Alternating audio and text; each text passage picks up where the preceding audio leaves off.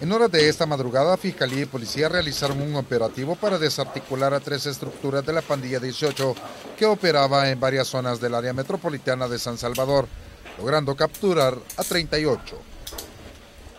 Ahí te estás.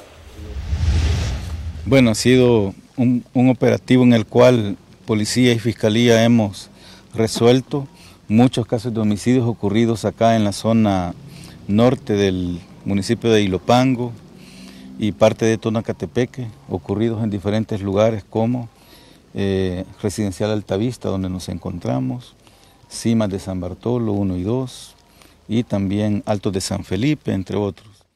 La Fiscalía los vincula en seis casos de homicidio en perjuicio de integrantes de la misma pandilla. Además, se les imputa el delito de agrupaciones ilícitas.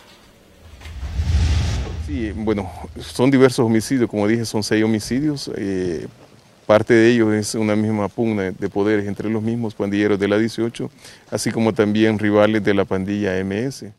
En la zona de Altavista se logró la captura de dos cabecillas.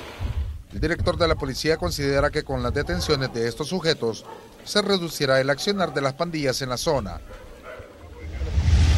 Tenemos a Alexis Alfredo García y Jorge Alberto López García, que son dos de los sujetos más reconocidos del sector, eh, que cometen la mayor cantidad de hechos delictivos eh, ocurridos acá en esta zona del departamento de San Salvador, eh, en la cual pues estamos dirigiendo nuestra atención, el principal esfuerzo, a las cabezas, a aquellos que conducen, dirigen el cometimiento de hechos delictivos acá en este sector.